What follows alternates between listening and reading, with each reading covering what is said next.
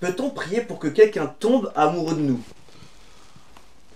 Oui, on peut tout à fait prier pour que quelqu'un tombe amoureux de nous. La question, c'est est-ce qu'on fait bien de le faire ou pas?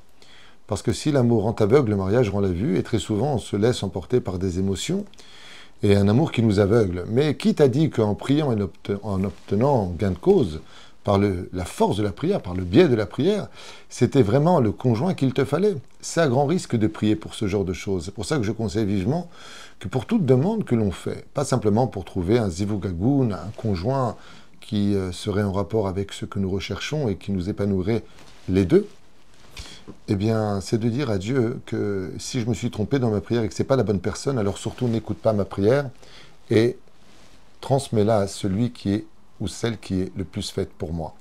Donc oui, il n'y a aucun problème, on peut tout à fait prier pour que ce genre de choses arrive. Mais d'utiliser la magie noire en aucun cas. Toutes sortes de choses occultes ou de passer par des abracadabras pour que ce genre de choses arrive, il faut savoir qu'à partir du moment où on a fait appel au côté obscur de la vie, eh bien ça viendra pénétrer aussi le côté du couple en ce qui concerne euh, cette question-là. La Gemara dans Moed Katan, Bedaf Yutret, euh, Amoudbet nous parle de Shmuel, qui dit que on aurait même le droit de se marier pendant Chol HaMoed, c'est-à-dire entre les périodes de Sukkot, donc dans la Souka, et pendant Pessah. Seulement les Chachamim, ils disent non, on ne peut pas le faire al pi Parce qu'on ne peut pas mélanger deux joies. Quand tu es dans Chol HaMoed, Pessah ou Sukkot, c'est une joie. Donc il ne faut pas mélanger deux joies. On ne met pas en deux, en deux termes deux couronnes sur une tête. Alors qu'est-ce qu'a voulu dire Shmuel? De peur que quelqu'un d'autre te devance. Et ça, c'est très intéressant. Ça veut dire qu'une autre personne qui serait tombée amoureux de la même fille que toi, avec qui tu dois te marier, toi, qu'est-ce que tu fais? Eh bien, tu veux prendre ton temps, tu veux repousser sans aucune raison valable le mariage.